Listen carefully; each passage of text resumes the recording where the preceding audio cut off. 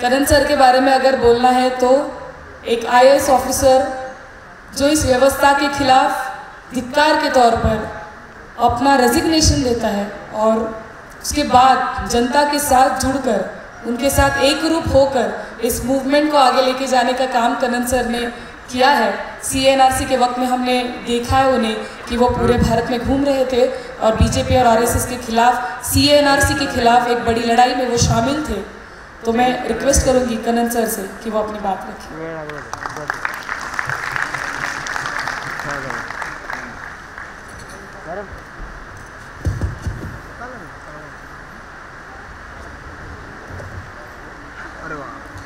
सबसे पहले मैं माफ़ी चाहूँगा कि थोड़ा लेट हो गया। इसमें मोदी जी का कोई हाथ नहीं था। थोड़ा ओला लेट हो गया था। मंच में बैठे सभी महान व्यक्ति, आप मंच पे ना बैठे हुए सारे महान व्यक्ति। आप सबको मेरा जय भीम। आज के दिन सबसे पहले मैं एल्गार परिषद को अभिनंदन करना चाहूँगा कि दोबारा इसको रिवाइव करने का जो निर्णय लिया, उस बात को, उस जज्बा को उस निर्णय को मैं अभिनंदन करना चाहूँगा। क्योंकि जब पहले बार हुआ था, उसको रोकने का, जिस तरीके से हर एक स्ट्रगल को रोकने का दो तरीका है। एक होता है स्टेट वायलेंस जो पुलिस को यूज़ करके किया जाता है। एक होता है नॉन स्टेट वायलेंस जो एक दूसरे सेक्शन के लोगों को बोलते हैं कि आपस में आप लड़ लो। ये दोनों वायलेंस इस्तेमाल किया गया था। वो दोनों वायलेंस इसीलिए इस्तेमाल किया गया था साइलेंट करने के लिए। ये वायलेंस का इस्तेमाल साइलेंस के लिए था। तीन साल के बाद या चार साल के बाद इस अलगार परिषद से ये कहना चाहते हैं कि हम साइलेंट नहीं होंगे। चाहे आप स्टेट वायलेंस इस्तेमाल करें, चाहे नॉन स्टेट वायलेंस का इस्तेमाल करें।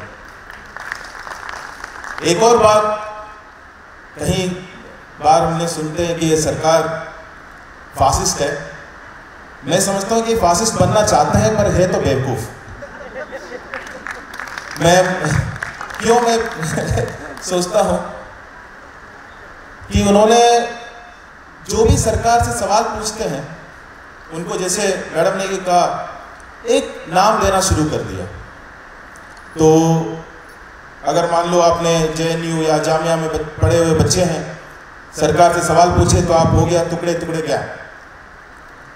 और पढ़े लिखे हैं और शहर में हैं। अच्छे पढ़े लिखे लोग हैं और शहर में रहते हैं और सरकार से सवाल पूछते हैं तो अर्बन नक्सल। और गरीब है सवाल पूछा तो प्रॉपर नक्सल और अगर मुसलमान हो गए सवाल पूछे तो जिहादी आतंकवादी। अगर सर, सरदार सवाल पूछे तो खलिस्तानी। जितने से लोग सरकार से सवाल पूछते हैं, उन सबको उन्होंने एक नाम दे दिया है। तो मैं आज आके एक मिनट के लिए सोच रहा था कि क्या बुलाऊं, कि मेरे प्यारे देशद्रोहियों अर्बन नक्सलियों टुकड़े टुकड़े ज्ञान खालिस्तानी, क्योंकि सरकार से सवाल पूछने वाले लोग ही बैठे हैं यहाँ पे। और सरकार से, सरकार के हिसाब से आप सबका एक नाम है ही ऑलरेडी मेरा भी है। हाँ हिंदू होके सवाल पूछा तो पहले तो ये होता है कि ऐसे तो कैसे सवाल पूछ सकता है? ज़रूर देशद्रोही होगा। इससे अलावा तो सवाल पूछ ही नहीं सकते। ये, पर ये नहीं समझते कि ये बेवकूफ़ इसलिए कहा? क्योंकि इनको लगता है कि ये एक ही ट्रिक बार बार प्ले कर सकते हैं। एक ही चीज़ को। दस लोग हैं। दो मुसलमान सवाल पूछे तो आठ लोगों को बोला, देखो वो दो मुसलमान है, इसलिए वो आतंकी है, जिहादी है, देशद्रोही है। ठीक है, आठ लोगों ने मान लिया। उसके बाद एक बच्चे थे स्टूडेंट्स थे, मान लो एक है, उसने सवाल पूछा तो उसको बोला, ये टुकड़े टुकड़े गैंग है। बाकी सब लोगों को बोला कि ये टुकड़े टुकड़े गैंग है, पर अभी साथी लोग मान रहे हैं, क्योंकि दो को तो ऑलरेडी आपने देशद्रोही कह चुका है। साथी है। उसके बाद अगर सिख सवाल पूछने लग गया तो उनको बोला तो तो खलिस्तानी है, पर अभी इनको देशद्रोही मानने वाले छह ही बचे हैं। एक और आपने बोला कि अभी जिस तरीके से हरियाणा में पंजाब और उत्तर प्रदेश में किसानों के आंदोलन हो रहा है, उनको जाट या किसान किसी को भी, उनको भी कहने लग गया, पाँच ही लोग बचे हैं। ये डिमिनिशिंग रिटर्न का गेम है। इनको लगता है इससे काफ़ी लंबे आगे जा सकता है, पर इसलिए मुझे लगता है कि ये बेवकूफ़ है। ये एक ही ट्रिक को बार बार यूज़ करके जा सकता है, इसका कुछ ही लोगों को ऐसे लगता है।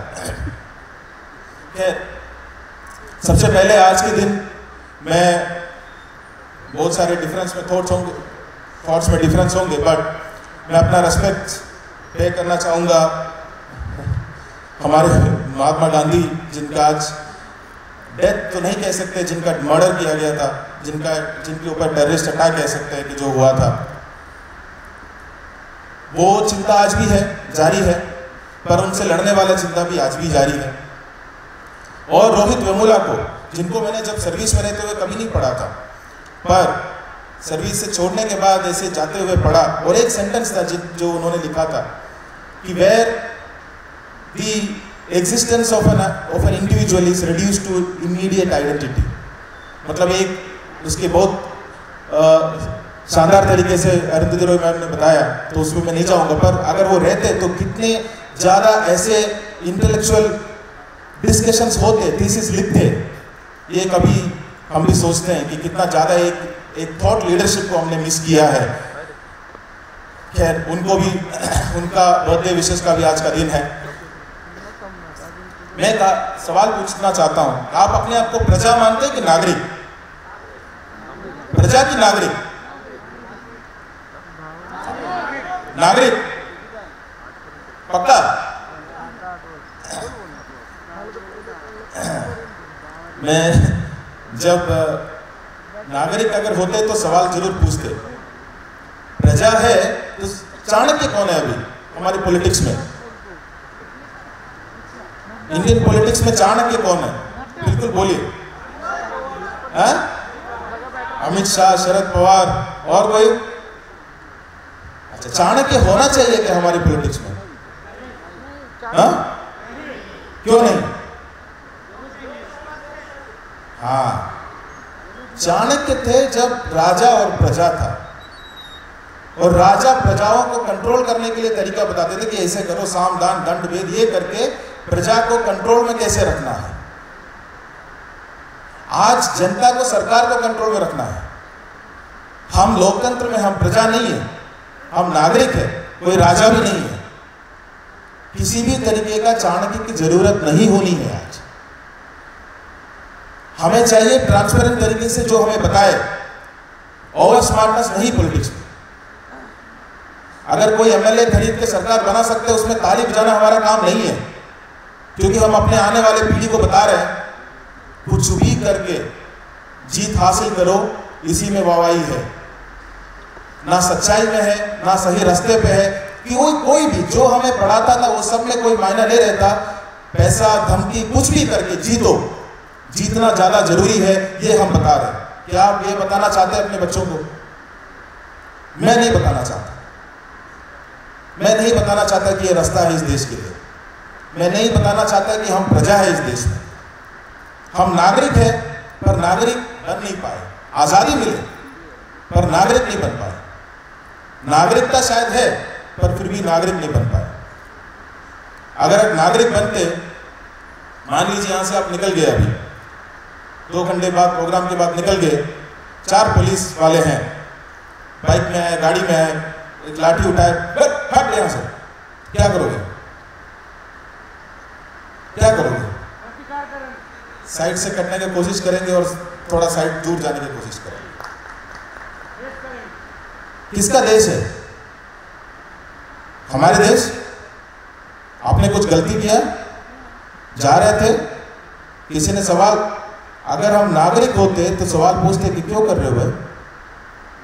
पर हम नहीं बोलते। नागरिक नहीं है, अभी प्रजा ही है। हमें डर है। प्रशासन से डर है। राजाओं से डर है। सारे के सारे राजा ही है। सिर्फ़ एक मोदी नहीं है, हर लेवल पे मोदी बैठे ये तो छोड़िए। मोदी से जिससे सवाल पूछते हैं, अपने पटवारी और तलाटी से सवाल पूछने से डरते हैं।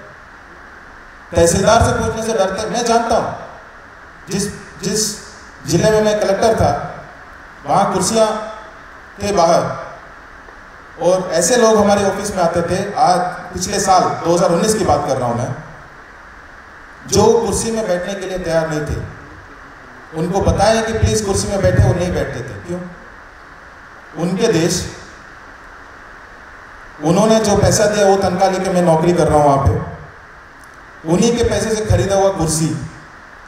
पर अपने आप को उस कुर्सी में बैठने लायक नहीं समझते। कैसे नागरिक बोल सकते हैं हम अपने आप को?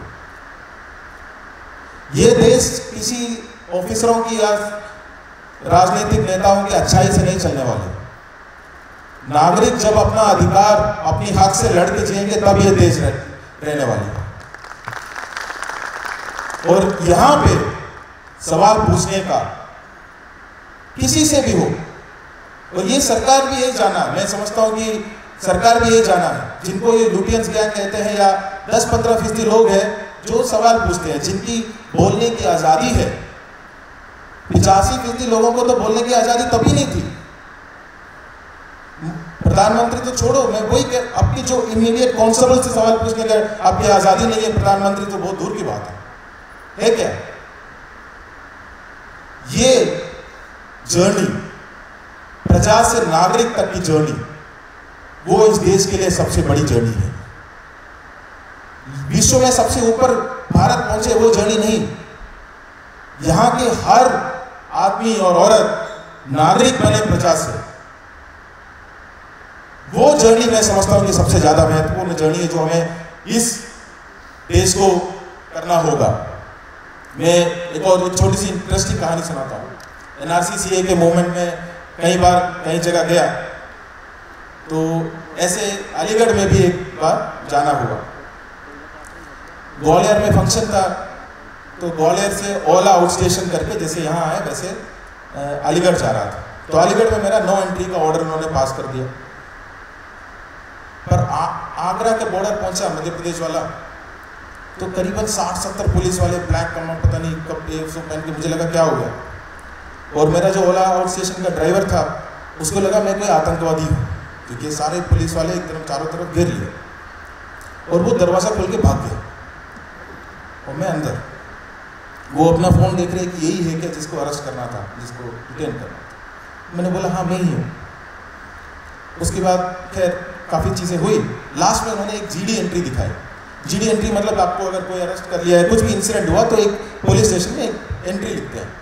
उस एंट्री में ये लिखा हुआ था कि मैं आगरा में हर गाँव में जाके, लोगों को उत्साह के, अलीगढ़ लेके जाने वाला था दंगा करने के लिए। ओला आउट स्टेशन पकड़ के जा रहा हूँ मैं अलीगढ़। हाँ डायरेक्ट गाड़ी।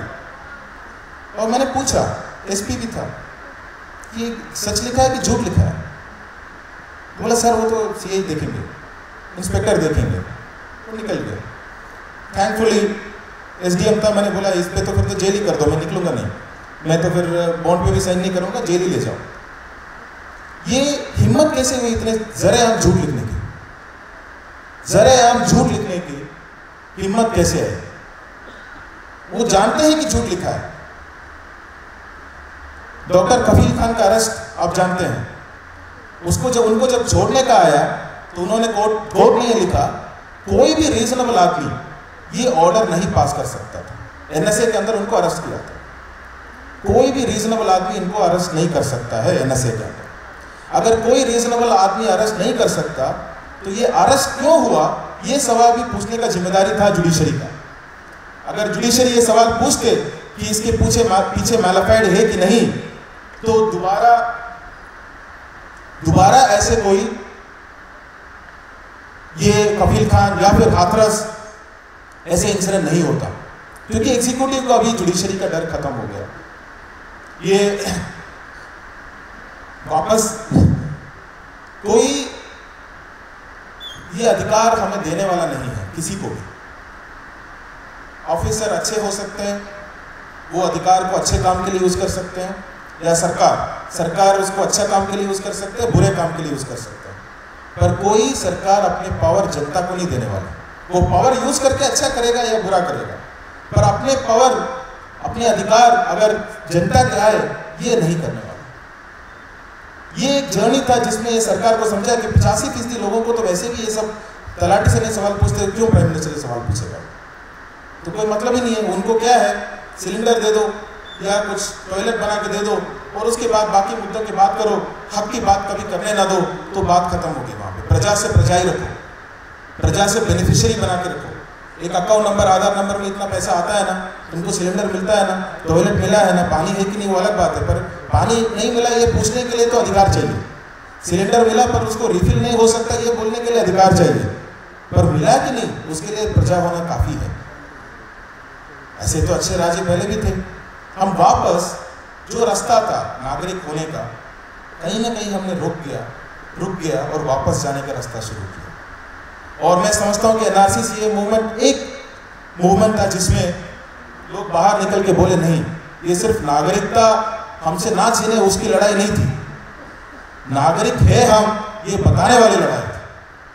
हम उनको ये कह रहे थे कि हम नागरिक है। चाहे आप कुछ भी करें, हम अपनी हक लेके रहेंगे, हम अपनी बात रख के रहेंगे। जो सवाल हमें पूछना है, हम वो पूछते ही रहेंगे। मैं एक छोटा सा अपना बात ज़्यादा नहीं कहूँगा क्योंकि मेरी जो देखने का नज़रिया है वो हो सकता है यहाँ बैठे हुए कई सारे लोगों से अलग है क्योंकि हम अलग अलग जगह से आते हैं एक ही इंसिडेंट को अलग अलग तरीके से देखते हैं। ये ज़रूरी नहीं है कि मैं दे, मेरा देखने का सही है किसी और का देखने का सही है। पर मेरा एक डर भी है।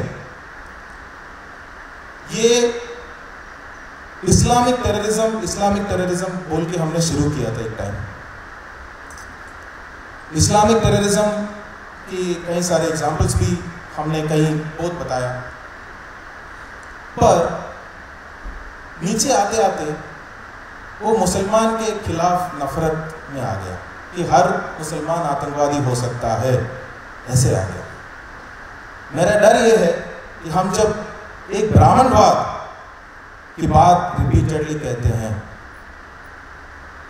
तो जैसे ही इस्लामिक टेररिज्म के ऊपर हम बोल के अल्टीमेटली मुसलमान के खिलाफ नफरत में आ गया, ऐसे ही एक दूसरे इंसान, कोई भी हो, ब्राह्मण हो, एक सौ भाई हो, वहाँ पे उनकी नफरत में जाए, ऐसे होना नहीं चाहिए, ये मेरा थॉट है। पर ये मंच की समझ भी मैं रख रहा हूँ।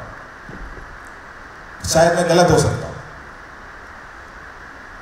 क्योंकि एक गलत आइडियोलॉजी से अगर हम लड़ रहे हैं, और उसमें वापस उसका सोल्यूशन में भी किसी न किसी को एक्सक्लूड करके अगर हम लड़ रहे हैं तो इस देश को एक साथ होकर आगे लेके जाना मुश्किल होगा।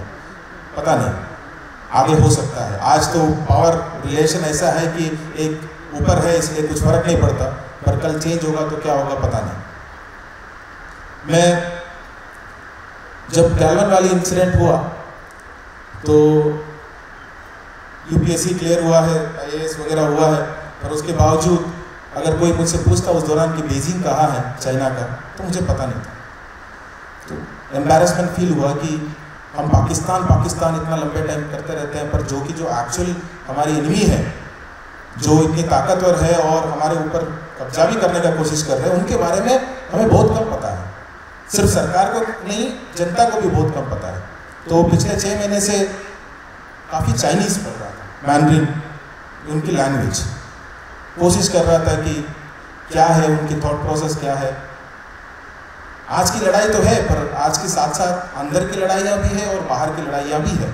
ऐसा नहीं है कि सिर्फ़ हमारे कोई एनिमी नहीं है, ऐसा नहीं है। वो पढ़ते पढ़ते एक कहानी, एक चाइनीज़ स्टोरी आया, वो कह के मैं अपना बात खत्म करूँगा। एक लड़का था जिसने बहुत सपना देखता था, बहुत, उसका बहुत बड़े बड़े सपने थे। और एग्ज़ाम पास हो गया क्लियर हो गया, बहुत पुरानी कहानी है। उसका कुछ भी नहीं हो रहा, कोई भी सपना उसका पूरा नहीं हो रहा। तो एक गुरु जी टाइप वहाँ पे जो भी चाइनीज़ में गुरु जी जिनको कहते हैं, उनके पास गया, जो भी एल्डरली पर्सन के पास गया। और उनसे जैसे पूछने लग गया तो उन्होंने बोला कि नहीं, सवाल पूछने से पहले आप थोड़ा पानी गर्म करिए। मेरे लिए पानी बॉईल करके ले आओ।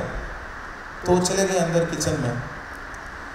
तो देखा बहुत बड़ा बर्तन है, पूरा पानी भरा हुआ है। बहुत छोटा सा चूल्हा है और लकड़ी है नहीं। तो थोड़ी देर, थोड़े बाहर गया, एक वो, एक आध लकड़ी ले आए, शुरू किया। जैसे लकड़ी खत्म हो गया, पर पानी गर्म नहीं हुआ, बोल तो हुआ नहीं।